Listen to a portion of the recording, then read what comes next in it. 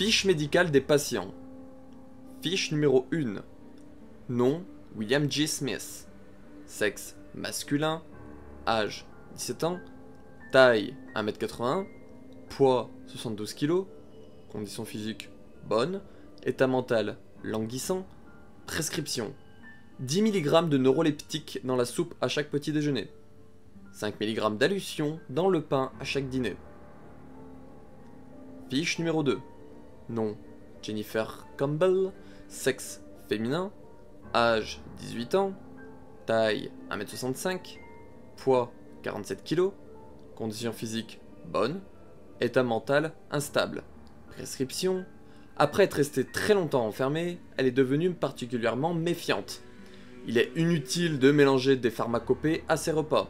Elle ne mange pas tout. Dans son cas, il vaut mieux mettre les neuroleptiques dans son eau potable.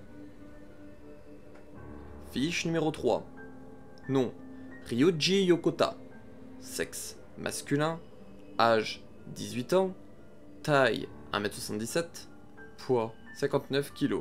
Condition physique Les résultats de l'IRM révèlent une tumeur au cervelet. Sujet inutilisable. Éliminé. Fiche numéro 4. Nom Karelina Albashekov. Sexe féminin. Âge 17 ans. Taille 1m55.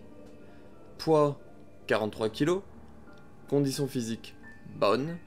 État mental stable. Prescription 10 mg de neuroleptique dans la soupe à chaque petit déjeuner.